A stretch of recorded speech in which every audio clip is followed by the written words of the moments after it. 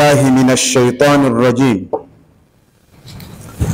بسم الله الرحمن الرحيم.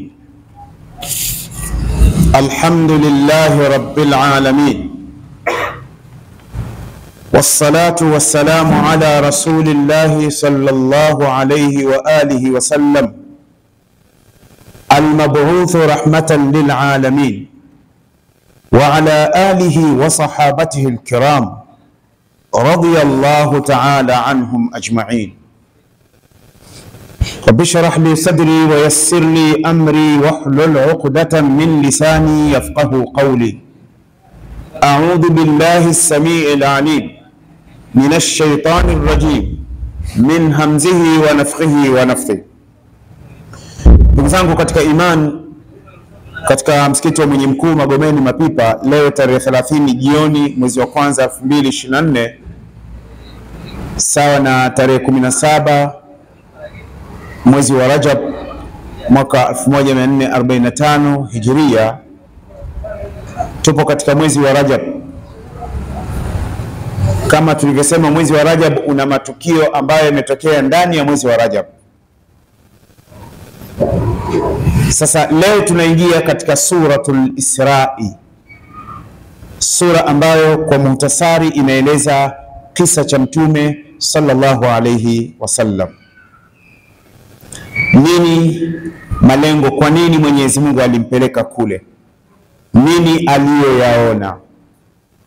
Mbingu ya kwanza, mbingu ya pili, mpaka mbingu ya tatu, mpaka mbingu ya saba, na aliyoyaona wakati wa kwenda na kurudi. Tafsiri nitakayoirejea hapa ni tafsiri ya mwanachuoni mkubwa anaitwa al-Imam Abu Abdullah Muhammad ibn Ahmad al-Ansari rahimahullah al-Qurtubi katika tafsiri yake al-Jami'u li ahkami al-Quran. taba ambayo nitakayokuwa nairejea mimi hapa ni tabaa ya Dar alkutub alilmia al-Ilmiya, ndiyo ninayorejea. Tabaa ni chapa ya Dar al-Kutub al-Ilmiya ambayo imechapishwa mwaka 1413 Hijria, sawa na mwaka 1993. Imechapishwa Lubnan na Dar alkutub alilmia al-Ilmiya mwaka 93, na huo huo ndio mwaka ambao nimeinunua hii tafsiri pale Madina chuo kikuu katika Maarab ambayo huwa yanafanyika kila mwaka.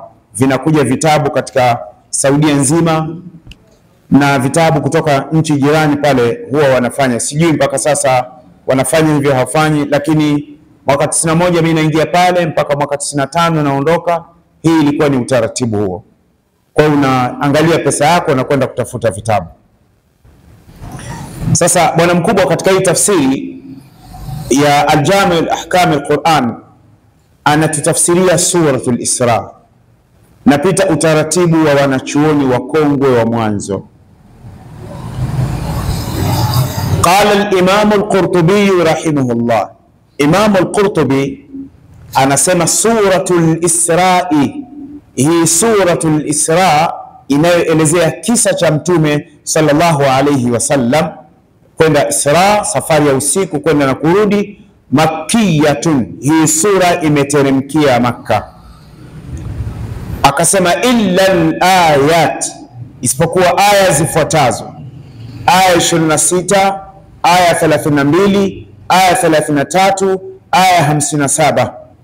Wa min aya, na kuanzia aya 73 ila aya mpaka aya 80 famadaniyatun, hizi aya zote zimeteremkia Madina. Akasema wa ayatuha, na idadi ya suratul Isra, idadi ya aya zilizomo katika suratul Isra mia wa ihda ashara aya, ni aya mia moja kumi na moja. Haya ni maelezo ya Imam Al-Qurtubi rahimahullah.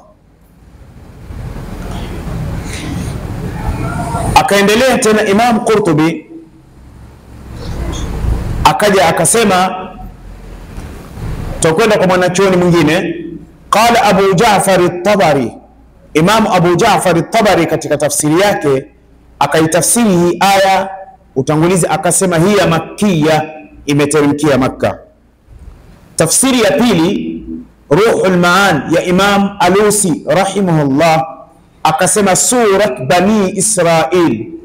Imam Alusi Abulfadli Albaghdadi Aliraqi rahimahullah akasema hii sura Suratul Isra, yeye akasema inaitwa surat Bani Israil. Kwa hiyo kwa sababu kuna kisa anaeleza cha wana wa Israil, akasema watusamma al-Isra'u, na inaitwa suratul Isra.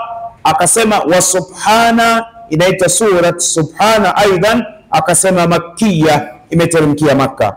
Huo ni utangulizi katika tafsiri ya Imam Alusi rahimahullah, tafsiri yake inaitwa Ruhul Maani. Hiyo ni tafsiri ya tatu. Nikarejea kwa haraka haraka tafsiri nyingine ya nne ya Imamu Suyuti Adurul Manthur, akasema suratul Isra makkiya. Hii suratul Isra imeteremkia Makka. Akasema wa ayatuha, na idadi ya aya zake ihda ashara wa mia, ni aya mia moja kumi na moja. Nikaenda tafsiri ya ya sita ya tano ya Imamu Al-Fakhru Razi rahimahullah tafsiri ya Imamu Al-Fakhru Razi au at-tafsiru al-kabir au mafatihu al-ghaib. Imamu Al-Fakhru Razi akasema, Al-Khwarizmi akasema suratul Isra, hii inaitwa suratul Isra makkiya, imeteremkia Makka. Naye akataja kama alivyotaja Imam Qutubi aya 26, aya 32, 33, 57 hizi zimeteremkia ameenda kama alivyoeleza Imam Qurtubi rahimahullah. Akaja akasema famadaniya nazalat ba'da alqasasi, hii sura imeteremka baada ya kuteremka suratul Qasas.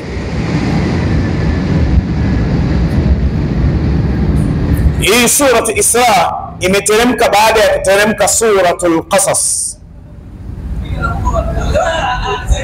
Imam Al-Qurtubi akasema surat Isra nazalat ba'da al-Qasasi, imeteremka baada ya kuteremka suratul Qasas. Akasema wal Qasas, na suratul Qasas nazalat ba'da an-Namli, imeteremka baada ya kuteremka suratul Namli. Wan na suratu Namli nazalat ba'da ash-Shu'ara, imeteremka baada ya kuteremka suratu Shu'ara. Wash-Shu'ara na suratu Shuara nazalat ba'da alwaqi'ati, imeteremka baada ya kuteremka suratu alwaqi'a.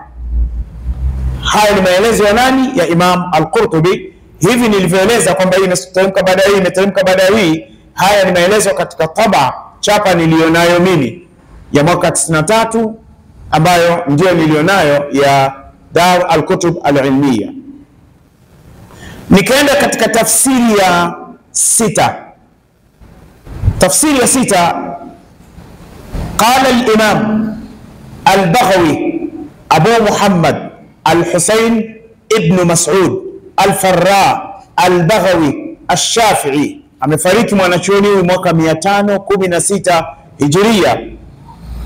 Ana هجرية أنا inaitwa tafsiru al-Baghawi akasema makkiyatun, imeteremkia Maka hii sura, akasema wahiya mi'atun wa ihda ashara aya hii sura ina aya mia moja kumi na moja. Nikaenda tafsiri ya saba, qala al-Imam al-Sheikh Muhammad al-Sheikh Ahmad Mustafa al-Maraghi rahimahullah. Sheikh Maraghi akasema suratul Isra, akasema hii suratul Isra ama inaita surat Bani Israil. Tafsiru al-Maraghi ya Ahmad Mustafa Almaraghi rahimahullah. Kila ninapokuwa nairejea hii tafsiri tafsiru lmaraghi, siwezi nikasahau nilichokuwa nakisoma mwaka 87, 88, 89, mwaka 90 nilipokuwa nasoma tafsiri baada salati al-maghrib, namsikiliza Sheikh Ahmad Dumila hafidhahu Allah wa atala Allah umrahu katika msikiti wa Birikao pale Mombasa. Kama unashuka bondeni kabla ya kwenda bondeni, upande wako wa kulia unaacha barabara ya lango la Papa, alafu unakwenda mbele, unaingia kulia. Ndio mara ya kwanza kuisikiliza hii tafsiri wakati ninasoma Mombasa. atala Allah umrahu Sheikh Dumila. Bahati nzuri mwaka jana alhamdulillah tumekwenda tumekutana katika msikiti wa Lango la Papa tumekutana baada ya kwa mwaka tisini hatujaonana, tumekwenda kuonana mwaka jana 2023 alhamdulillah, tukaonana shekhe kwa Shekhe Bahero kule Masjidur Rahma Bakarani, mwenye Shekhe Bahero anapaita Barakani. Tukaja tukaonana katika msikiti nadhani Masjidi Musa, lakini hakukaa sana, alikuwa na mishwari nyingine. Sasa hii ndio suratul Isra. Ndugu zangu, Mwenyezi Mungu Subhanahu wa Ta'ala anasema subhana alladhi asra biabdihi laila subhana alladhi subhana alladhi asra biabdihi laila min almasjid alharami ila almasjid alaqsa alladhi barakna hawlahu linuriyahu min ayatina innahu huwa as-sami'u al-basir. Allah subhanahu wa ta'ala anasema subhana alladhi. Imam Qurtubi akasema waqad rawa Talha ibn Ubaidillah al-Fayyad, amesimulia Talha mtoto Ubaidillah al-Fayyad katika wale masahaba kumi waliobashiriwa pepo na katika wale masahaba ambao walikuwa na hela sana, wakisikia jambo la kheri hela yao haibaki mfukoni, mpaka Mtume akamwita Alfayyad, mzee wa kumwaga. Akisikia tu jamani, ee, kazi ya Mungu kuna kheri, anamwaga hela. Talha bin Ubaidillah, na akasema ukitaka kumwangalia mtu wa peponi, yupo duniani bado anatembea, yupo hai, mwangalie Talha bin Ubaidillah, kwa sababu sababu ya pesa yake aliitoa kwa ajili ya Allah subhanahu wa ta'ala. Saa Talha anasema annahu qala linnabii, Talha alimuuliza Mtume baada ya kuisikia hii aya hii sura, ma maana subhanallah ya Rasulullah, nini maana ya subhanallah? Mtume akamwambia tanzihullah min kulli su, ni kumtukuza Mwenyezi Mungu kutokana na kila sifa yenye dosari kubwa ndogo, inayoonekana isiyoonekana, inayojulikana na isiyojulikana. Allah anaepukika na sifa yenye dosari ya aina yoyote, ndio maana subhanallah. Sasa Mtume sallallahu alaihi wasallama akawa amemwambia namna hiyo. Kwa hiyo subhanalladhi, ametakasika Mungu ambaye sawa. Qurtubi akasema wa maanahu atanzihu walbaraatu wal bara'atu lillahi azza wa jal min kulli naqsin, maana yake subhana ni kumtakasa Allah subhanahu wa ta'ala kutokana na kila sifa ya upungufu.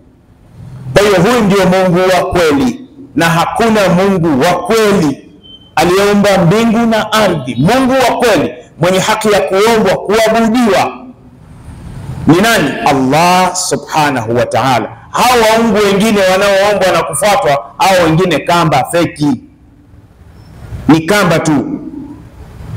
Huyu anaabudu ng'ombe, huyu anaabudu mbuzi, huyu anaabudu pweza, sijui anaabudu kitu gani. Allah ndio maana akasema, qul, waambie Muhammad, huwa Allahu ahad, Allah ni huyu? Mmoja, yani Mungu ni mmoja. Lam yalid, Allah hakuzaa, walam yulad, wala hakuzaliwa, walam yakun lahu kufuwan ahad wala Allah hafanani na yeyote na chochote. Lam yalid, qala Ibn Abbas, kama waladat Maryam, Allah hakuzaa kama alivyozaa mama Maryam. Mama Maryam alimzaa nani? Isa. Walam yulad, na Allah hakuzaliwa na hatozaliwa kama wulidat, kama wulida Isa, kama alivyozaliwa Isa. Kwa hiyo Maryam alizaa, alimzaa nani? Isa na Isa kwao ni wapi? Tume Isa au anamuita Jesus pale Falastini, katika eneo la Jerusalem pale Falastini, na ndipo kwao mama Maryam, na nyumbani kwao ile nyumba bado ipo mpaka leo, na mlangoni kwao ule mlango wa rangi ya kijivu. Nasimulia kitu ambacho nimeona kwa macho yangu, three times nimekwenda kule, na mpaka alipozaliwa Isa pale mama Maryam alipofungua tume Isa lakini tatizo pamejazwa misalaba mle ndani, na ukiingia mle ndani kuna picha imekuonyesha na unakataza usipige picha, lakini hizi simu hizi hazina adabu. Mtu anaweza akaweka hapa, lakini kumbe anachukua video na una habari, au kutumia hizi kalamu. Mtu anaweza kuwa na kalamu hapa, kumbe anakuchukua picha na anakurekodi sauti. Hii ndiyo teknolojia ya sasa. Sasa Allah anasema subhanalladhi, ametakasika na kutukuka Mungu ambaye asra biabdihi, alimpeleka mja wake usiku, lailan, usiku, min almasjidi lharam, kutoka katika msikiti mtukufu wa Makka. Yani Allah alimsafirisha Mtume sallallahu alaihi wasallam kwa kutumwa Jibril amchukue Muhammad kutoka Makka. Ila almasjid al-aqsa ila mpaka katika msikiti wa mbali. Alimpeleka katika msikiti wa mbali ambao ni Aqsa, ndio maana umeitwa Masjidul Aqsa, lakini ni Baitul Muqaddas, ni nyumba ya Mwenyezi Mungu tukufu. Kwa hiyo akawa amempeleka pale.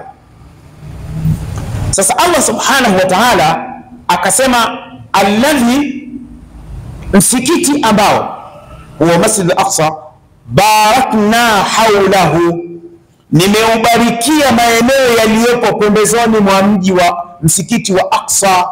Lile eneo lote lina baraka, ndugu zangu, barakna haulahu. Sasa na ukifika aksa ndio unakwenda kuona ile baraka, kwa sababu kwanza ni ardhi yenye rutuba, ardhi yenye rutuba. Na rutuba yenyewe inaanzia wapi? Inaanzia huku katika ardhi gani? Unaanzia Jordan. Sasa Allah anasema summi, uh, Imam Qurtubi akasema summiya al-Aqsa, msikiti huu umeitwa Aqsa libudi ma bainahu wa baina al-Masjid al-Haram, kutokana na umbali uliopo kati ya msikiti huu wa Aqsa na msikiti mtukufu wa Maka. Wa kana ab'ad masjid an ahli Makka, wa kana ab'adu wa kana al-Aqsa au Masjid al-Aqsa ab'ada an ahli Makka fi al-ard yu'azzamu biziyara, na ulikuwa msikiti huu wa Aqsa ni msikiti ambao kwa watu wa Maka upo mbali, kwa sababu kwenda na kurudi ilikuwa ni siku ishirini na tisa kwa kutumia farasi au ngamia, siku ishirini na tisa Mtume amekwenda kwa usiku mmoja. Sasa akasema yuadham biziara, msikiti huu unatukuzwa. Kwa nini? Kwa kuutembelea, na ndio maana mimi pamoja na taasisi M2 Travel tumekwenda kule kuangalia uzito wa msikiti huu utukufu, kwa sababu haiwezekani Allah kuutaja, maana yake una nini? Una utukufu wa aina ya pekee pale. Tukawa tumekwenda 2019 katika mwezi kama huu wa Rajab, na tumeingia pale siku ya Isra, siku ambayo ndio mtume alikwenda mbinguni. Tunaingia msikitini baada ya maghrib, tumekuta msikiti mzima ni darasa la qissatul Miraj. Utafanya ubishi wewe, lakini nimekwenda mimi, Allah shahidi ilikuwa ni qissatu Miraj spika mpaka na misikiti mingine ya pembeni inaelezewa inaelezewa kisa cha Miraj. Thumma qala, Allah akasema alladhi barakna haulahu, ardhi ya Aqsa nimeibarikia, yani msikiti wa Aqsa nimeubarikia, yani nimeweka baraka zangu pale.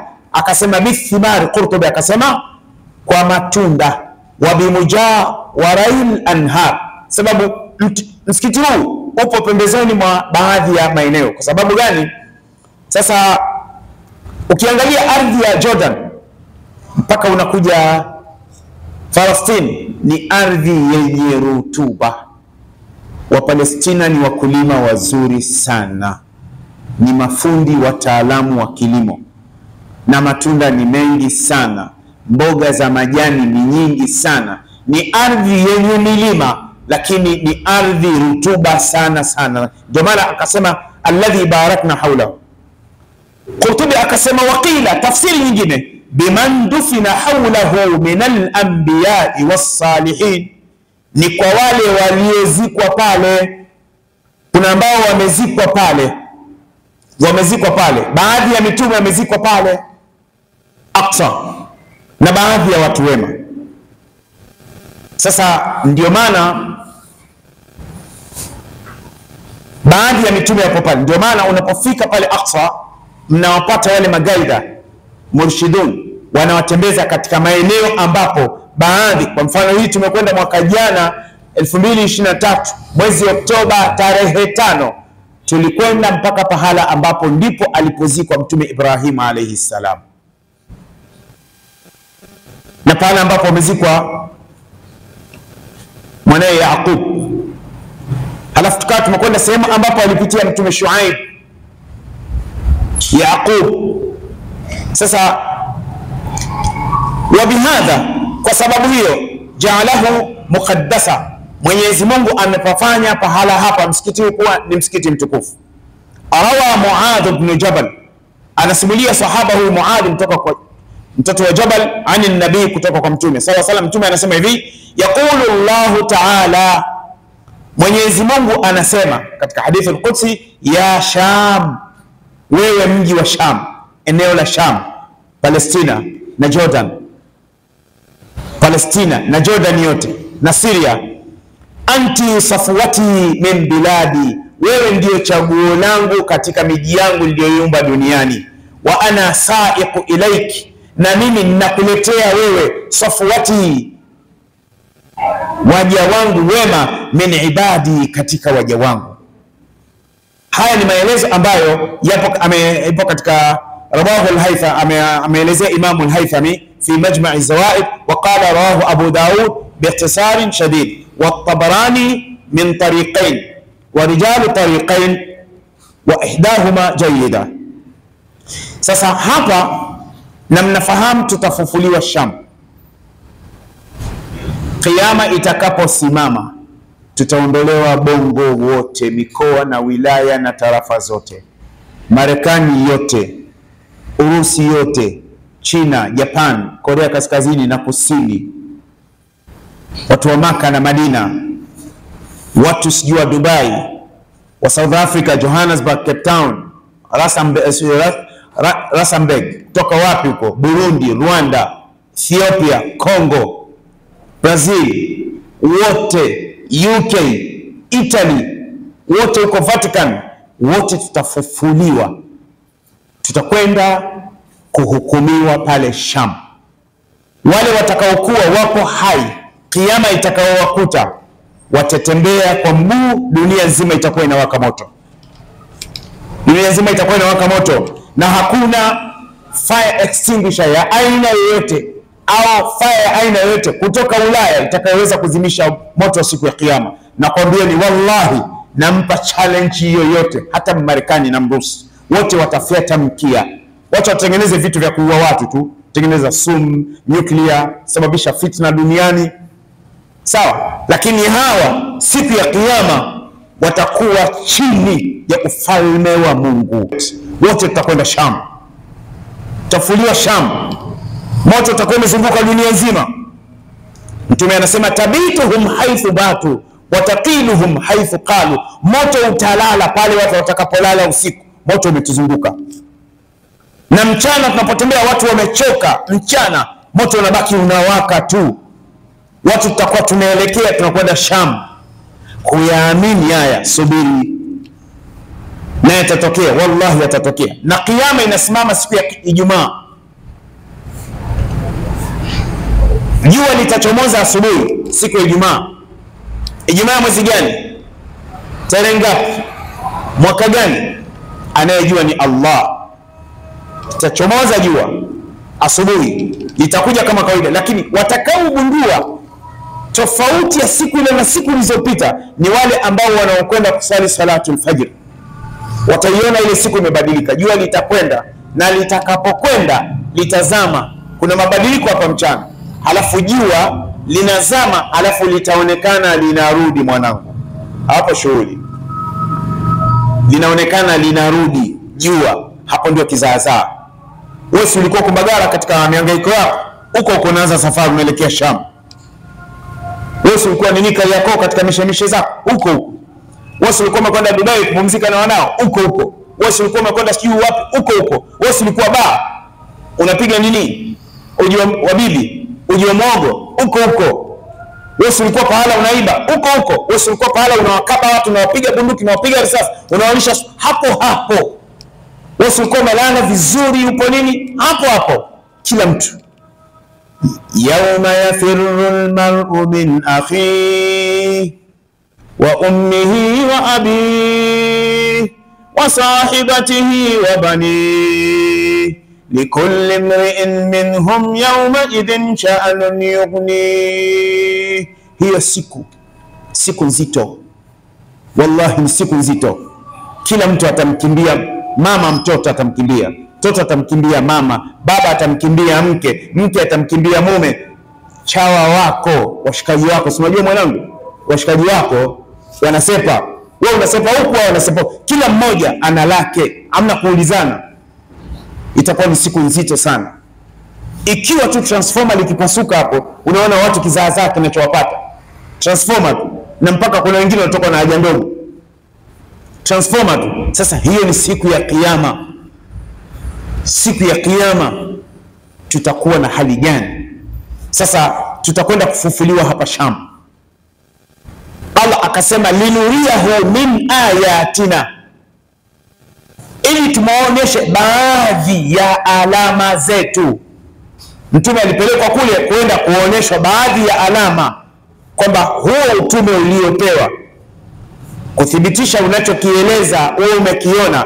Qurtubi akasema wal ayatu allati arahu Allahu min alajaib allati akhbara biha nnasa, na miongoni mwa alama ambazo Allah alimwonyesha Mtume sallallahu alaihi wasallam na mambo ya ajabu ni zile alizowaeleza watu. Kwanza, wa israuhu min makkata ila almasjid alaqsa fi lailatin, yani ni kuondoka kwake usiku kutoka Maka kwenda msikiti wa Aqsa. Qurtubi akasema fi lailatin, usiku mmoja, wa huwa masiratu shahri, Maka Falastini ni mwendo wa mwezi mmoja, yeye yeah, amekwenda usiku mmoja. Wa urujuhu ila sama na kut, ila sama na kutoka kwake sasa pale Palestina, ile sehemu aliyorukia mtume ambayo bado ipo mpaka leo kwenda mbinguni, usiku ule ule. Wa wasfuhu al-anbiya na namna alivyorudi akawa anawaeleza mitume wahidan wahidan, mmoja baada ya mmoja.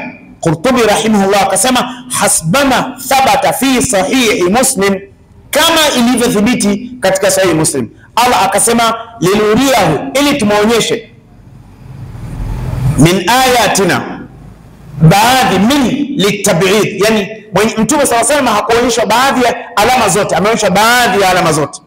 Innahu Allah huwa samiu, Allah ndiye anayesikia. Allah ndiye anayesikia linalosikika na lisilosikika. Hapa tulipo hapa ndani pana viumbe wapo hapa ndani, pana malaika wapo na wanaongea, wanatufuatilia nyenendo zetu, wanaongea lakini hatusikii. Allah anawasikia. Allah anawasikia. Hapa ndani kuna majini Waislamu wamekuja kwenye darsa, wapo hapa na wanaongea, wanatuona sisi hatuwaoni, wala usikimbie. Hao wamekuja huku ni, ni majini wema wanatuona, wanaongea hapa. Allah huwa samiu, anawasikia. Albasiru, anaona. Mimi na wewe tunaona tu hapa, na sisi wengine siku nyingine mimi nikivua mawani sisomi hapa, si ndio? si yule matunda si yule matikiti si yule vitu gani. Mwanadamu anafika pahala haoni vizuri, lakini Allah albasir anaona. Ukirejea katika kitabu kinachoitwa Talabul Husna fi ihsai asmai llahi lhusna cha profesa anaitwa Muhammad ibn Salih Albarrak ambaye ni muhadhiri wa kulliyatu sharia wa usuluddin Jamiatu lqasim, wenyewe Wasudi wanasema Jamiatu lqasim. Sawa, anasema Mwenyezi Mungu subhanahu wa taala katika hicho kitabu anasema jina la Mwenyezi Mungu assamiu kurira au warada fi lquran, limetajwa katika Quran akthar min 40 maudhian, zaidi ya sehemu 40. Mwenyezi Mungu As-Samiu, Allah limekaririwa jina As-Samiu katika sura mbalimbali na katika aya mbalimbali zaidi ya mara 40. Al-Basiru, Allah amelikariri jina lake Al-Basiru kwamba anaona mara 47 katika sura 114. Kwa hiyo ukitoa 114 ukitoa 47 unapata tu kwamba ni wapi ambapo Albasir, jina la Allah Albasir halijatajwa. Maana yake ni kwamba itabidi uchukue muda wako wa mwezi mmoja au miezi miwili kufuatilia aya baada ya aya, sura baada ya sura. Muda huu tunao wapi? Hizi simu za kuchati tutaziweka wapi? Mpira tutauweka wapi? Tutauweka wapi mpira, ndugu zangu? Hatuna habari na swala. Nenda kaangalia hivi sasa, sijui kuna mechi huko ya AFCON, watu wanaangalia huko, hawasali. Waislamu hawasali, wanaendekeza mpira tu. Waislamu hawasali, wanaendekeza kazi ofisini. Waislamu hawasali, wako katika vijiwe. Waislamu hawasali, wapo katika kahawa. Waislamu hawasali, wanacheza draft. Tena kuna mchezo ule draft wa kuelekeana, huyu anamda huyu anamda huyu. Kwa hiyo unakuta huyu kaliwa na yule kaliwa. Sasa unauliza umeliwa wapi? Hujasikia jamaa kaliwa au mnasemaje? Hujasikia jamaa kaliwa? Sasa unauliza bwana, nasikia umeliwa wapi? Karata. Jana nimekuta pahala panachezwa karata, wanamume na wanawake wanacheza karata.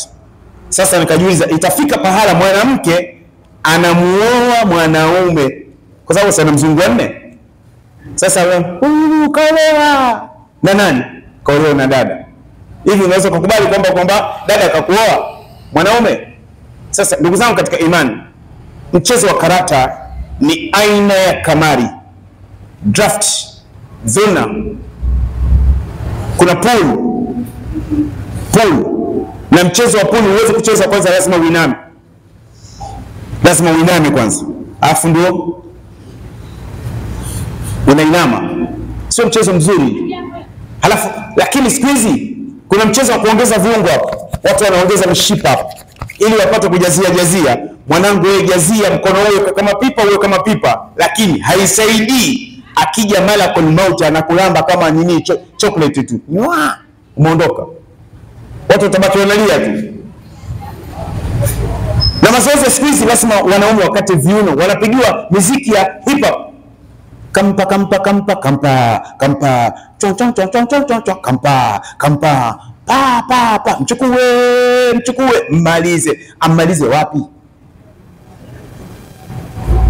Ndugu zangu, unajua mimi nakaa mjini. ma ba qala al-Hasan rahimahullah Alhabibi Kituti asikiliza, qala Alhasan rahimahullah, ma ba'atha Allahu nabiyan min albadiya, mtume hajawahi, Mwenyezi Mungu hajawahi kumtuma mtume kutoka kijijini. Mitume wote watoto mjini na wamekaa mjini. Rejea tafsiri ya Imam Qurtubi rahimahullah. Baadaye unaweza ukauliza baadaye, umepata wapi?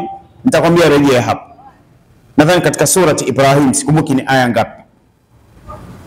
Sasa Mwenyezi Mungu Subhanahu wa Ta'ala anatuambia hii ndiyo suratul Isra. Sasa ukienda hapa, Imam Qurtubi rahimahullah amekuja na hadithi akasema, qala sallallahu alayhi wasallam la tushaddu rihalu illa ila thalathati masajid, safari ya ibada huwa haifungwi isipokuwa katika misikiti mitatu Almasjidu lharam, msikiti mtukufu wa Makka. Mtume akasema wa masjidi hadha wa ila masjidi hadha, na msikiti wangu huu. Wa fi riwaya wa ila masjidi Ilya, wa ila masjidi Ilya au Baitul Maqdis. Ukisikia msikiti wa Aqsa unaitwa Masjidu Ilia, usipate tabu, ndio huo huo Aqsa. Sasa hapa napata mafundisho kwamba Waislamu tujiandae kuweza kutembelea maeneo haya, tuhakikishe tumefika katika hayo maeneo ili tuweze kupaona pale ambapo Mtume sallallahu alaihi wasallam ni maeneo ambayo Mwenyezi Mungu Subhanahu wa Ta'ala ameweza kuyataja.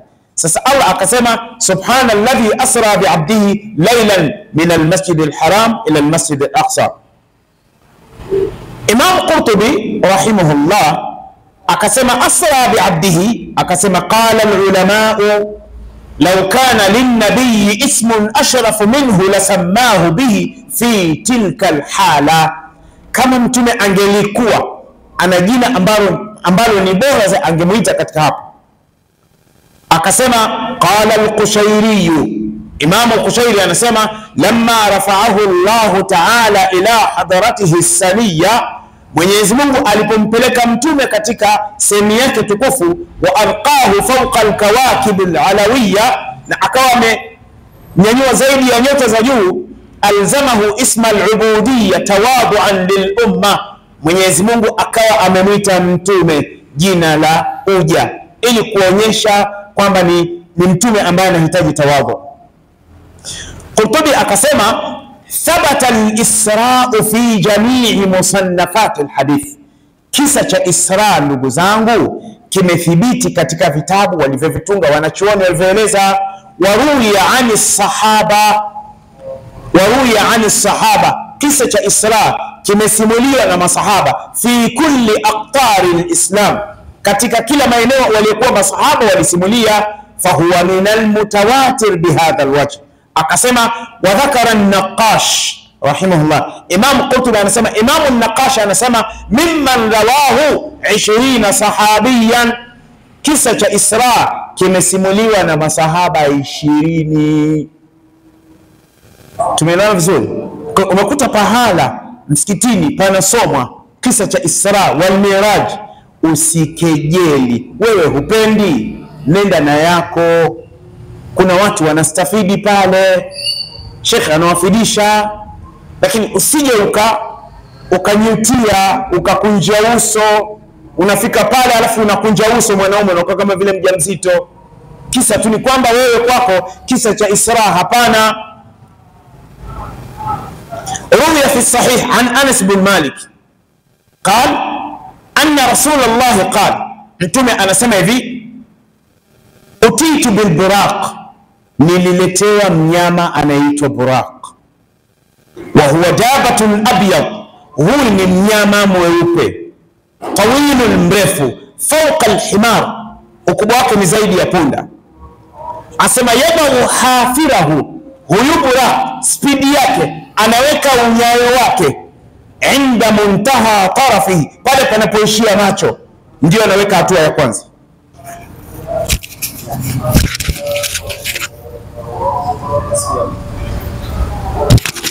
Na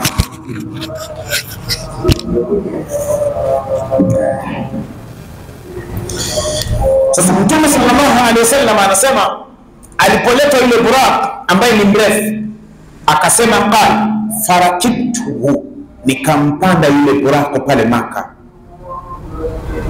Mnanisikia vizuri? Farakibtuhu, nikampanda yule burako hata ataitu baita lmaqdis mpaka nikafika katika msikiti wa Aqsa. Qala, anasema Mtume, farabattuhu, nikamfunga bilhalqati allati kwenye mnyororo ambao allati tarbutu biha al-anbiya, mitume waliotangulia nao walikuwa kufunga wanyama pale. Qala, asema thumma dakhaltu almasjida, kisha nikaingia msikitini, fasallaitu fihi rak'atayn, nikasali rakaa mbili, thumma kharajtu, kisha nikatoka. Kwa maana mtume aliingia ndani ya msikiti wa Aqsa akasali na pale mtume alipomfunga buraq, ndugu zangu, ile sehemu ipo marbatul buraq, ile sehemu imefika mara mbili, mara mwisho juzi Oktoba 2023 tarehe nne nipo Aqsa, tarehe tano nipo Aqsa, tarehe sita mpaka saa nne asubuhi nipo Aqsa, nikaondoka. Fajaani Jibril alayhi salam, mtume Jibril akamfuata mtume baada ya kumaliza rakaa mbili. Hapa tunapata fundisho gani? Ukimkuta mwenzako anaswali msikitini, una jambo lake unataka kuongea naye, mwache kwanza aswali. Tumeelewa ndugu zangu? Jibril si malaika ambaye ana utukufu kwa Mwenyezi Mungu, alimfuata mtume kumwambia kwamba acha kusali, alimwacha. Fajaani Jibril, akanijia Jibril biinain, akaja na chombo min khamr, chombo ambacho ndani yake kuna pombe, glasi ilikuwa na pombe wa ina akaniletea chombo kingine min laban, kilikuwa kina maziwa. Fakhtartu labana, nikachagua nikamwambia, nipe hiyo glasi yenye maziwa. Faqala Jibril, Jibril akamwambia Mtume baada ya kumwambia nipe hayo maziwa, ikhtarta alfitrata, umechagua jambo ambalo Allah ndilo analolipenda. Qal thumma araja bina ila sama, kisha tuka tumepanda mpaka mbinguni. Hadithi ipo katika Sahihi al-Bukhari hadithi ya 349 na katika kitabu Salam na vile vile katika Sahihi Muslim anasimulia Abu Dharr al-Ghifari katika kitabu al-Iman ni kutoa hadithi ya mia moja na sitini na mbili kwa Imam Muslim, kwa Imam Bukhari anaisimulia Anas ibn Malik na kwa Imam. Sasa hapa tunapata fundisho gani ndugu zangu? Tunapata fundisho kwamba Mtume alifika Masjidul Aqsa akaingia ndani akasali, na ile sehemu aliyo akaenda akawakuta mitume kama alivyosema jana Sheikh Juma, tutajitahidi tuhakikishe kisa cha Miraj tunakwenda nacho taratibu taratibu, lengo mpate faida umma wa Kiislamu, hasa wale ambao mnaokuja hapa. Sawa, wakasimama pahala, ndio wakaanza. Waliposimama pale, ndio wakawa wameanza safari ya kwenda mbinguni. Walisimama katika sahara. Narudia tena kama nilivyokwambia ni jana, acheni ubishi maanake kuna mtu mwingine ni mbishi, anasema mi sijui, lakini unishindi mimi.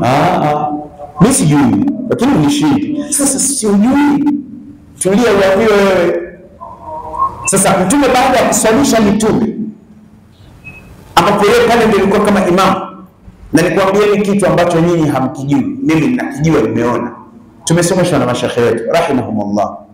Afu nimekwenda kuona mara mbili mara mbili maratain two times. Watu wa Kigoma wanasema nimeona mara hee mara hee, yani mara mbili. Hee kwa watu wa Kigoma ni harfu min hurufi taukid, mara hee. Unaona, sasa Mtume alipoelekea alielekea Aqsa kwa sababu ile kubwatu sakhra, na kariri tena Sio Masjidu. Aqsa, pale ndipo mtume aliposimama. Na Jibril, wakasimama juu ya jiwe, wakaanza safari kwenda mbinguni. Kwenda mbinguni. Ndipo walipoanza safari. Swali linakuja, kwa nini? Wasingeanzia safari kule kule Makka, baladullahi alamin? Kwa nini? Kwa nini ni pale maana yake linuriahu min ayatina. Mtume alikwenda kuonyeshwa, alafu alikwenda ku, kuangalia wakongwe wenzake mitume waliotangulia. Ndugu zangu katika imani, hii kisa cha musannafat riwayati sahiha, masahaba ishirini wamepokea haya. Unataka nini sasa? Tumeelewana vizuri? Kwa hiyo kwa leo tunaishi.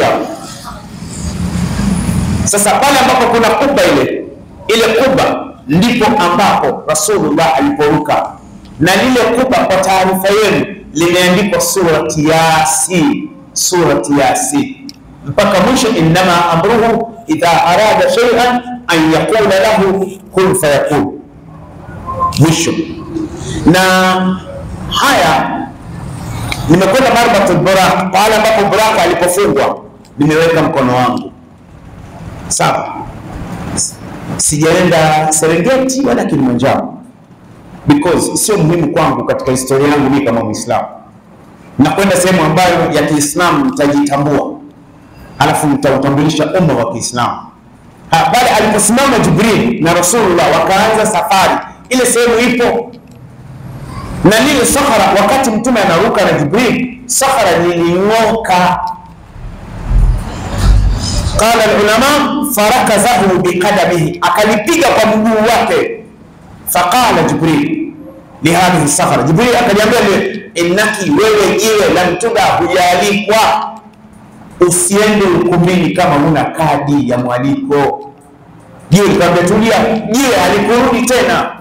Ndugu zangu, naeleza kitu ambacho kipo. Lile jiwe lilinyanyuka kiasi hiki kutoka hapa chini, likanyanyuka likakaa hivi. Hii sehemu iko tupu, iko wazi. Sasa wameichimba kuanzia wakati huo tangu wakati wa masahaba mpaka wakati wa daula Bani Umayya Abbasia, sijui mamluku nani, mpaka wakati wa Salahuddin al-Ayyubi rahimahullah. Wakati wa Salahuddin al-Ayyubi rahimahullah, ile sehemu iko chini. Sasa nini walichokifanya? Kuna njia ya kushuka chini na kuna njia ya kupanda. Panapojaa sana kule chini, watu wao wanaambiwa, kwa sababu kuna askari wanasimamia kule. Sehemu ya kina mama, kina mama wanasalia nyuma na kina baba wanakuwa wapo mbele. Sasa kila mtu anataka, na ile sehemu ambapo Rasulullah na Jibril walisimama, ile sehemu ipo, ndipo yani unakwenda unakuta kuna foleni, ikiwa tu kwenye alkaba Hajarul Aswad, kila mtu anaitaka, mpaka wengine ihram zinawavuka. Je, alipoweka unyayo wake Jibril na Rasulullah, baadaye ish sawa, tabqa fi dunya ma indi shay isipokuwa ni unaambiwa hapa amekanyaga Jibril, unaweka mkono, sio alipoweka mguu sijui mchezaji wa nani au star. Ah, chana nao, maanake unatoka unajitambua. Sasa Masjid al-Aqsa iko mbele, yani kama nilivyosema jana, ile Qubbatu Sakhra ipo hapa, alafu unashuka mbele, unashuka ngazi tisa, ngazi tisa kuliani kwako kuna sehemu imejengwa duara, yamewekwa mabomba ya kutawadha, watu wanakaa chini. Ni chini kuna mizaituni na mitini. Unapoingia pale Masjidul Aqsa, unatembea mita kumi na tano ama ishirini, kushotoni kwako unaikuta mihrabu Zakaria. Kullama dakhala alaiha Zakaria mihrab wajada indaha rizqa. Ya salam! Na utawakuta watu wengi watu wanagombea kuswali pale. Kwa sababu gani? Pahala ambapo Zakaria alipokuwa na mama Mariam alikuwa anakaa pale. Mariam kila nikija, mbona nakuta kuna chakula, anaambia imetoka kwa Mungu, inna Allaha yarzuqu man yasha bighairi hisab. Kwa hiyo haya ni maeneo, na ukitoka hapo kushotoni kwako ndio kuna Haikal Suleiman, alafu kuna masjid alijenga Abdul Malik bin Marwan rahimahullah. Alafu unarudi kwa nyuma, tembea mita 30, kuna sehemu ambapo amezikwa sahaba Ubada ibn Samit radhiyallahu anhu na Shaddad ibn Aus radhiyallahu anhu, wote wawili radhiyallahu anhuma, makaburi yao yapo. Na ile historia yao ya kuzikwa kwao ipo pale. Mayahudi hawasogei pale wala hawaji, kwa sababu wana makaburi yao, na kuna ukuta kama huu. Kwa nyuma, huku ndiko wako Mayahudi wameweka vijitobotobo ukutani, utawakuta wao pale, ibada yao ni wako hivi tu. Allahu aalam wanasema nini, kauliza wenyewe. Na ukienda kama una kanzu na kofia huingii lakini ukienda tu kimshikaji mshikaji, wanaweza wakakushuku, kwa sababu wale jamaa wenyewe wanajijua wenyewe, huku hawaji. Sasa hapa Shaddad bin Aus na Ubada bin Samit, pale pahala yale makaburi yanaitwa Makbaratu Rahma, ni makaburi mengi sana. Sasa ile sehemu kwa nini wale masahaba wamezikwa pale? Katika uhai wao wakati wa Rasulullah waliwahi kumfikia Mtume kwamba Masjidul Aqsa kuna eneo liko mkabala na babu rahma katika abwabu janna, wallahu a'lam bihadhihi riwaya. Kwa hiyo akasema Ubada akasema kama nitafia hapa Aqsa nizikwe hapa. Shaddad bin Aus akasema kama nitafia hapa Aqsa nizikwe hapa, na wamezikwa pale pale ambayo ni mkabala na babu rahma, yale maeneo bado yapo. Ndugu zangu, hapa marbatu naqa ambapo mtume uh, marbatu buraq alipomfunga buraq, unaingia kwa ndani mita kumi na tano kulia, ndipo unapokwenda kuikuta sukul Yahudi ambao ni wao wenyewe takriban asilimia tisini na tisa wao ndio wafanya biashara pale, wapo pale. Kuna biashara mbalimbali zote unazotaka, mbalimbali, maji ya kunywa, soda, vitu gani, kuna nguo, wanauza mpaka kanzu, mpaka tasbihi, wanauza vitu vingi, kofia, sawa, mpaka samahani, niseme kitu. Shekhe, unaruhusu niseme? Nimeshuhudia kwa macho yangu, walaisa alkhabar kalmuayana. Yabna alkirami ala tadnu fatubsira ma qad haddathuka fama ra'in kaman samia.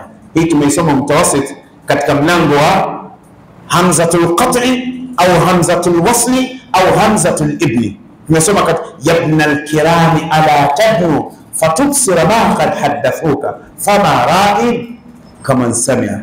Wewe kijana, sogea hapa nikusimulie. Kijana mzuri, sogea hapa nikusimulie hayo waliokwambia. Aliyeona hawezi kuwa sawa sawa na aliyehadithiwa. Nilihadithiwa nikasomeshwa na mashaikh wetu rahimahumullah, lakini nimekwenda kuona mwenyewe sasa. Kuna vijikofia vimeanza kuingia Dar es Salaam. Siwakatazi msivae, msinunue, vaeni, vaeni, lakini subhanallah, kuna vikofia vidogo. Vinakuwa vikofia vidogo, yani kichwani hakienei sana, sawa. Yani kinakuwa kikofia kidogo, kinabakia tu kama kisosi cha chai, kama kisosi cha nini cha cha kuwekea chai kile. Ni vijikofia vile, vipo katika soko la Mayahudi vingi sana, lakini wao wana maana yao sana, wana maana yao vile vijikofia vidogo. Kwa nini? Naomba jamani, sio kila kina kitu kinachokuja tunaweza tukanunua, tuwe makini. Mpaka nikamuuliza mmoja tulikuwa tunakwenda naye anatoka Zanzibar, nikamwambia maalim, hebu angalia hizo kofia. Yule bana akasema asalala, hizi kofia zimetoka wapi? Si ndio kama zile nyumbani? Akamwambia eh, asema Tanguja zipo hizi. Nikamwambia Kariakoo zipo nyingi katika maduka, ni vijikofia vidogo tu vinakuwa kama kisahani cha chai. Najua kwenye kwenye mitandao Mr. Abedi watu watakomenti sana watalii, lakini naeleza kitu nilichokiona, nilichokiona. Sasa hizi ni katika moja ya faida, nimekwenda nimeona. Jamani, twendeni Aqsa. Mwenyezi Mungu tunamwomba ajalie hali irudi kuwa nzuri, twende tukaone Ashabul Kahf. Hii sehemu ipo Jordan na Masjidul Rahim Shekhe Juma pale ilipokuwepo Masjidul Rahim, serikali ya Jordan almamlakatu alurduniya alhashimia wamejenga msikiti wa kisasa. Alhamdulillah, safari hii nimezungumza na imamu wa pale, tukasalimiana tukajuana, akaniuliza umetoka wapi? Nikamwambia nimetoka Tanzania. Nikamwambia ni mara ya pili nakuja hapa. Tulikuwa tunazungumza Kiarabu. Umesoma wapi? Nikamwambia nimesoma Madina. Akaambia ninao ndugu zangu nami rafiki zangu wamesoma Madina. Sawa, nikamwambia tumekuja kufanya ziara pale Ashabul Kahf kimejengwa chumba Shekhe Juma, kwa sababu wanaokwenda pale wengi wao si Waislamu. Cha ajabu, wamevaa vijipensi vijikaptura kaptura hivi, mpaka wanawake na wanaume. Ndio fashion imeingia Dar es Salaam hivi sasa, wanaume wengi wanatembea na kaptura. Kweli si kweli? Leo mnasemaje? Wanaume wengi wanaingia wanatembea na mapedo, mtoto wa kiume anatembea na pedo. Sasa nini walichokifanya pale pale Jordan ashabul kaf, kwa wanawake wameweka vitu kama jilbab, ina mfuniko kama hivi, kama zile kanzu za Kimoroko zile. Sasa mwanamke wakishafika, wale wanawake wa kizungu wanaingia mle ndani, wanazivaa. Wakishazivaa zile, alafu ndio wanaingia mle, anakuwa kama na jilbab mle. Wanaelekeza kwa Kichina, Kiarabu, Kiingereza, wapo pale wamejiandaa kiutalii sana. Ni sehemu za kihistoria ya Kiislamu, lakini wamejiandaa wamejiandaa kiutalii sana, na sehemu kubwa watu wa Ulaya wanakwenda, wamejiandaa kiutalii sana. Kichina wanatoa maelezo, Kifaransa, Kijerumani, Kiarabu, Kiingereza. Maana yake ni kwamba na sisi Tanzania tubadilike, tubadilike, watalii ifunguliwe vyuo Kiarabu, Kiingereza Kichina. Lugha ya Kiingereza Tanzania ni tabu. Watanzania tuna allergy na Kiingereza. Mimi ni mwalimu, tunaona katika shule zetu za O level tuna tatizo, tubadilike. Ukienda katika mji wa Jordan, sehemu inaitwa Petra, katika moja ya maeneo ya ajabu kubwa duniani, pale ambapo ilipohamia familia ya Ismail. Jordan, Petra, sehemu ambapo walipohamia ile sehemu. Ile sehemu ipo ndani ya Jordan, wameiweka sehemu ya utalii sana. Yaani ukifika pale ni sehemu ya kujifunza. Wenzetu wanatengeneza vipi hela kutokana na utalii. Kitu cha ajabu ni kwamba unapofika pale, kabla ya kuingia sehemu, huruhusiwi na chupa maji, juice, soda, chai, kwa sababu kule kule ndani chai ipo inauzwa, maji yanauzwa, juisi inauzwa, utaviacha kwenye gari. Ili utakapokuja huku ukipata kiu unanunua. Hii ni sehemu ya, ya mbili za kiutalii. Sasa hii sehemu ya Rakim wamejenga kwenye msikiti na watu wanakwenda. Ndugu zangu, tusifungwe kamba, tusifungwe kamba, twende tukaone wenyewe, tukaone wenyewe, tukaone nini kinachoendelea kule. Angalia maeneo ya Maka na Madina, hatufiki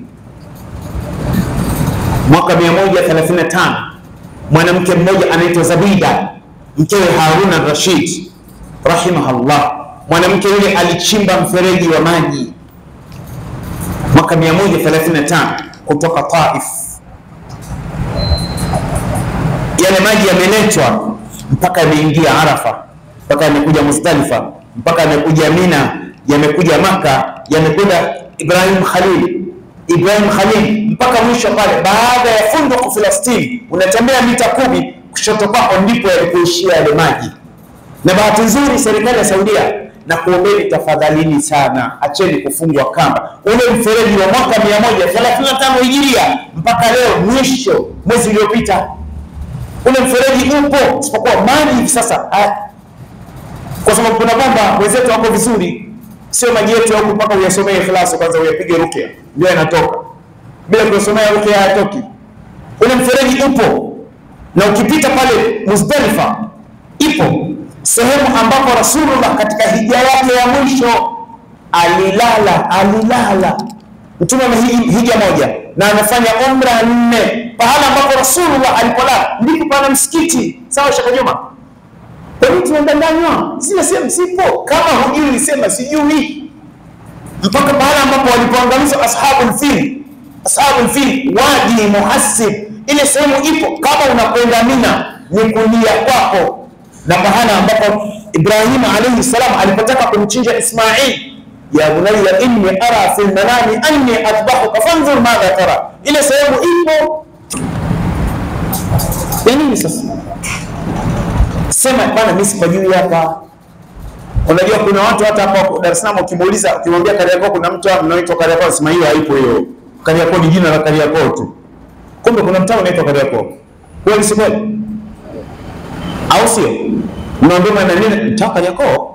Kariakoo kuna mtaa, mtaa huko. Unaanzia wapi? Sasa utulie uambiwe sasa.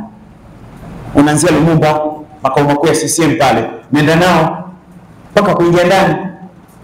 Sasa maeneo ya historia, kwa nini tunasoma kisa hiki? Ndio maana Sheikh Juma akasema anakuombeeni mje kwa wingi tupate faida. Sheikh jana, mnakumbuka alituambia tupate faida, kisa cha Isra wal Miraj, na mimi inshallah nitakwenda nacho hiki mpaka mwisho mwezi wa Rajab, tutakwenda mpaka tuyaangalie mtume aliona nini, na kile tukitaja tunarejea kitabu fulani, rejea kitabu fulani. Maanake kuna watu mashallah, wao wamekaa kama vile kunguru tu, anasubiri tu basi apige, ndio kazi yao. Kuna watu wamebakia hivi, amekaa kama kunguru. Watu wa Kigoma wanasema amekaa kama kibombogogo. Kibombo ewa huyu ah, kama kibombogogo na kijoroo. So, unajua kijoroo na kibombogogo, kazi yake anaangalia tu ni wapi anapiga huyo, alafu anakuwa huyu anakimbia. Hapana, lakini kisa cha Isra, umemwona Imamu Naqash, Imamu Qurtubi amenukuu katika kitabu chake, asema kisa hiki kimesimuliwa na masahaba ishirini. Tumwombe Mwenyezi Mungu atupe afya njema. Allah atuondolee maradhi, atuondolee maradhi ya macho mekundu. Allah atuondolee maradhi ya macho mekundu. Allah atuondolee maradhi ya macho mekundu. Allah atupe kheri na baraka katika nchi yetu. Allah atupe amani na utulivu katika nchi yetu. wa sallallahu wa sallam ala nabiyyina Muhammadin wa alihi wa sahbihi wa sallam. Subhanaka Allahumma wa bihamdika nashhadu an la ilaha illa anta nastaghfiruka wa natubu ilaik. Kesho litakuwepo darasa lingine la Sheikh Juma hafidhahullah.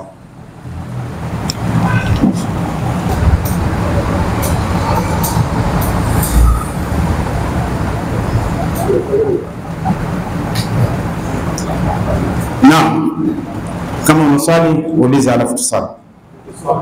Ah, إلى المدينة إلى المسجد الأقصى mm. كم كيلو؟ من المدينة إلى- مسجد الأقصى والله ما أعرف كم كيلو. بهذا المراد وقت الحرم أي كم أيام؟ في الليلة. من مكة المكرمة إلى مسجد الأقصى. في ليلة واحدة. يعني ذهاب وإياب. ذهاب وإياب. يعني معنى ذلك رجع النبي صلى الله عليه وسلم إلى مكة المكرمة قبل طلوع الفجر. فلذلك عندما أخبره أنه ذهب إلى الأقصى ذهاب وإياب في ليلة واحدة. لذلك قالوا لا أنت كذاب. فقال أبو بكر صدق صدق صدقت صدقت؟ نعم. آه آه. في مكان في مكان فيه حلقة معلقة في الجدار. وكان الأنبياء قدماء. النبي الذين سبقوا النبي صلى الله عليه وسلم كانوا يربطون مراكبهم أو براقهم في نفس المكان. وفي نفس المكان ما زال موجود حتى الآن. تمام. زمان سماني مزوم كمان أنا أنا مكوباتا كيتو أنا سما kutoka maka kwenda madina kutoka maka kwenda palestina kilomita ngapi ngambia mi sijui lakini nadhani kwa wale ambao ni watundu wa mambo ya simu hizi, wewe unaweza kuandika tu kutoka Maka kwenda Baitul Maqdis au kutoka kwenda Baitul Maqdis kilo ngapi, watakuandikia hapa. Maanake Google siku hizi ndio amekuwa shekhe, kila kitu Google, kila kitu Google, lakini kitu ambacho Google hajaweza kujibu ni kitu kimoja tu. Ukimuuliza Google umezaliwa wapi au utakufa lini, hawezi kujibu. Wewe muulize tu Google unakufa lini, hawezi kujibu. Lakini maswali mengine ukimuuliza anajibu. Na ameuliza swali, je, ile sehemu ambapo mtume alipomfunga buraku, ile sehemu ipo? Nikamwambia bado ipo, hata mitume wenzake waliotangulia walikuwa wakifunga pale, na Jibril ndio alikuwa mwenyeji. Yani alipomfunga Buraku ni kama pale kwenye kona ya nyumba ndugu yetu ya ghorofa, alafu Jibril akaja naye mtume mpaka hapa. Alipofika hapa ndio akawakuta mitume wanamsubiri, akawasalisha. Lakini kwanza alikwenda akasali raka mbili, raka mbili akaja aka baada ya hapo ndio akaanza safari. Mbingu ya kwanza akamkuta Adam. Nakumbuka jana tumesoma sawa, na tutakariri tena hii kama alivyosema Sheikh Juma, ni kwa ajili ya faida. Mbingu ya kwanza alimkuta nani? Mbingu ya pili, mbingu ya sita alimkuta Musa. Alipokuwa anaondoka, Musa akawa analia, wakaambia unalia nini? Akamwambia huyu kijana jinsi tukapewa utubu, umati wake wengi wanaingia peponi, lakini mimi ndio nimemtangulia, umati wangu wanaingia wengi motoni. Sawa. Kwa hiyo tukatoa mfano kuingia mjini, yani kuzaliwa mjini, sio kuwa mjanja. Anaweza kanya mtu katoka huko Mnyamwezini ukamkuta anakuwa mjanja zaidi kuliko wewe uliozaliwa hapo. Tumeelewana vizuri? Swali lake nadhani tumeelewana. Jamani, kisa cha Isra wal Miraj nitaendelea nacho inshallah. Naomba tuhudhurie kwa wingi, sawa jamani, ili tuweze kupata faida, sawa, isije ikatokea sababu. Pale bana, kisa cha miraji hawasomi bana, wale. Wao wanasema haijathibiti. Ah, ah, sisi tutakisoma, kimethibiti, ushindwe wewe tu, sawa bana. Inshallah Mwenyezi Mungu atukutanishe tena wiki ijayo, na mwezi huu nakusisitizeni Waislamu wenzangu, na kusisitizeni na kubembelezeni, huu ni mwezi wa Rajab, katika ile miezi mitukufu minne tujitahidi kufanya mambo ya khairat, sala za sunna, duha, rakaa mbili za udhu, sadaqat, khairat. Angalieni maeneo yanayohitajika kufanyiwa khairat, madrasa zinazosomewa Qurani, waangalieni waadhini wenu, wafanyakazi wenu wa misikiti, waangalieni wafanya usafi wa misikiti, waangalieni waalimu wa Qurani, angalieni umeme, angalieni bili za maji za misikiti. Sawa, kama imeandikwa luku pale, kaichukue luku, mwambie imam, mimi tayari hapo nimesha kuingizia hapo, tufanye khairat, kwa sababu Rajab inakuja Shaaban, na jana Sheikh alituambia kuna vidume, kidume kimejitokeza. Hapo, feni ishirini na tano kidume kimenunua, au sio Nyuma? na feni 25 kila feni moja elfu sabini. Ta sawa. Tanga 25 sasa sio mchezo mzigo mkubwa. Kwa hiyo tujitahidi ndugu zangu fanya khairat. Sawa? Idha mata ibnu adam anqata amalu na mtume aliwauliza siku moja masahaba ayyukum malu warithihi ahabbu ilayhi? Ni yupi kati yenu mali ya mrithi wake inapendeza anaipenda sana kuliko mali yake? Masahaba akamwambia kila mmoja anapenda mali yake. Akamwambia la maluhu ma qaddama mali yake mtu ni ile aliyeitoa katika njia za kheri wa mali warithihi na mali ya warithi wake? Ma akhara ni ile ambayo unabania. Sehemu za khairati unaacha kutoa. Sasa zile unazoziacha ndipo pale warithi wanagombana wanarogana hawasemezani wanageuzana machizi fikishana mahakamani toa hela yako mapema. Tumeelewana jamani? Toa hela yako mapema. Wekeza mapema pepo inakusubiri huko. Na peponi ni raha. Peponi ni raha tupu. Tajri min tahtiha al-anhar. Khalidina fiha abada. Na peponi ni raha tupu. Alafu peponi hakuna kufa. Hakuna mzee alafu peponi watu wote. Mita 34 situna dhiraa kama mtume Adam. Ufupi watu wafupi wote peponi marufuku watarefushwa kaburini tumeelewana vizuri? Kwa hiyo tujitahidi jamani tufanye khairat fanya khairat. Tatizo mashekhe tunapozungumza nasema sheki shanze anapiga mizinga lazima tuseme jamani man amila saliha wa man asaa ukifanya mema unafanyia nafsi yako. Utakuwa peponi. Na wake karibuni tisini wote wako wote wako kila siku ya Ijumaa unakwenda soko Juma, hadithi sahihi katika Riyadh Sahihi. Kila siku ya Ijumaa wanaume wote peponi, wanaume wote watakwenda soko, linaitwa soko Juma. Wakitoka huko wamekuwa wazuri, yani watanasha wazuri. Wakifika kule wakizaa, wanaambia takayatum, mbona mmebadilika, mmekuwa wazuri sana. Naye anamkuta mama watoto kawa mzuri sana. Mechi inaanza tena ya AFCON. Ijumaa ijayo inaanza tena.